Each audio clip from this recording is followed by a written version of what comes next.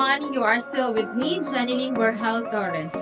In the first video, we already learned how to receive and process room reservation specifically through phone.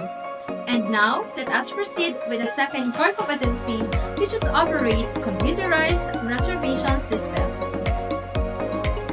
This unit of competency deals with the skills and knowledge required in using a computerized reservation system to create bookings for a range of tourism or hospitality services. The key elements include Computerized reservation system is operated based on property standards. Create and process reservations and send and receive reservation communications.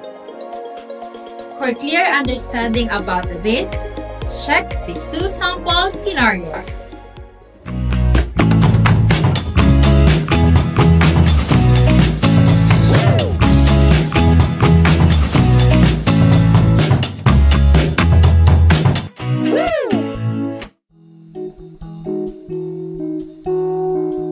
Either in-person or telephone reservation, it undergoes the basic procedure wherein the reservations agent must input the guest details in the reservation system.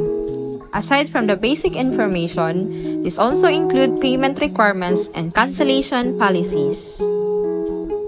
Reservations may also be received and processed through a range of tourism sectors such as tour operators, travel agencies, transportation, accommodation, events, and among others. In case a guest room reservation is done through online travel service providers such as Trivago and Agoda, room tariff may vary depending on the agreement between the hotel establishment and the third party involved. In addition, the communication must take place between the two business entities. It is then the responsibility of online travel service provider to communicate and update guests about room reservation. Remember, a hard copy of filled out reservation form is necessary in case down system occurs. In operating computerized reservation system, keyboarding skills is a must, so as the ability to process reservations communication to relevant industry providers. As I have mentioned from the first video lesson, every hotel establishment has its own standard operating procedure but shared with the same common goal which is to provide excellent service to its guests.